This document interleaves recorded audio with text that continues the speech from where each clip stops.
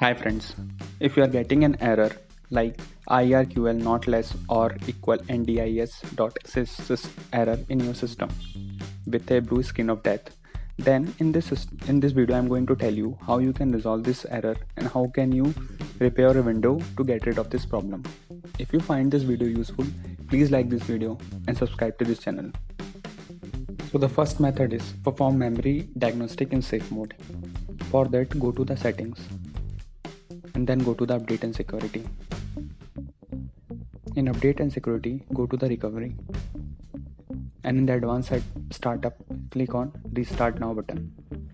Once you click on it, you will get this option and click on troubleshoot and then go to advanced option. Here, click on the startup setting. Third option you can see here the fourth option is enable safe mode. So just restart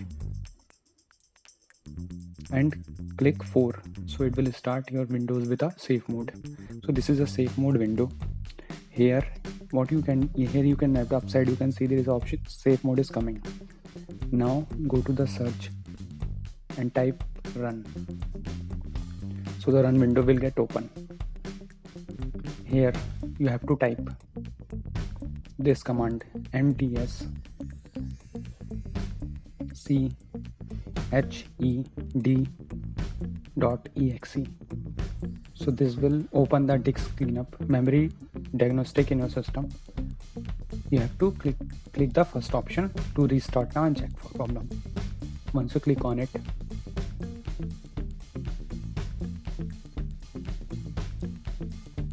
this kind of screen will appear in your windows. So it is it will do the diagnostic for your window and check if there is any problem in your disk so like this you can resolve this error. Now after this just go and try to reboot your system and check if you're still getting the error or not. Otherwise we will go for the second. Now the second method is perform check disk operation. For that you have to go to the command prompt and run it as administrator. Once your command prompt get open then type this command. The command is chkdsk dsk and slash f slash r and at last we have to give the disk name. I will put this command in the description also so that you can copy paste. Just change the disk name according to your use.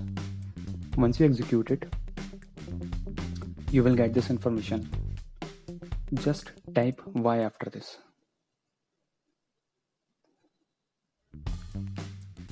So whenever you start, restart your window, this check disk will happen. Once you type y, you have to exit from the command prompt and then you have to restart your system. For that, go to the power button and just click on restart once you restart your system you will see this kind of this check will start. This check disk will take some of time. You can see the ETA let the check disk do their, their work.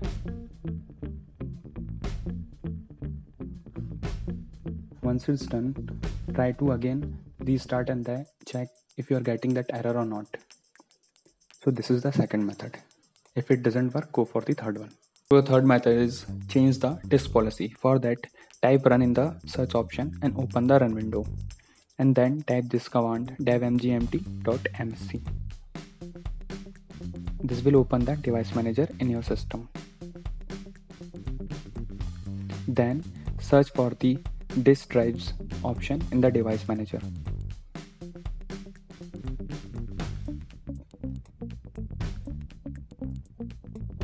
Once you get the disk drive option, right click on it and go to the properties and change the policy. For that, go to the policy and check if it is tick to this option. If it is not tick on this option, then tick on this option and press OK. After that, just close the device manager and go to the start option and power restart your system